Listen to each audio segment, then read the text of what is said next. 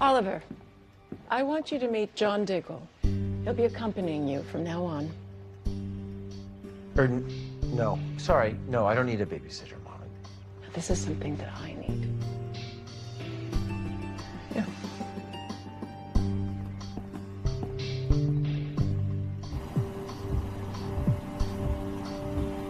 So what do I call you?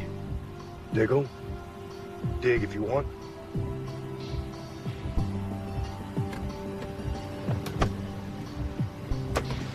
Sorry, Oliver.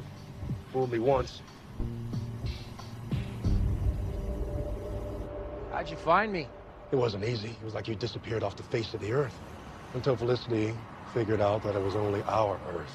Still, John, it's not like you could just charter a jet. Cisco let me borrow it.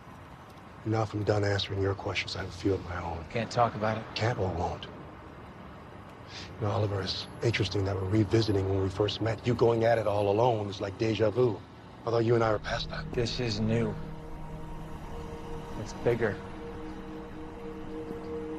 And I'm not going to ask you to take the risk it involves. Oliver, that's the thing about being brothers.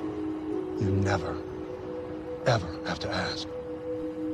Can you just believe me when I tell you this is different? Yeah, Felicity told me. Some godlike being talking about the end of the universe?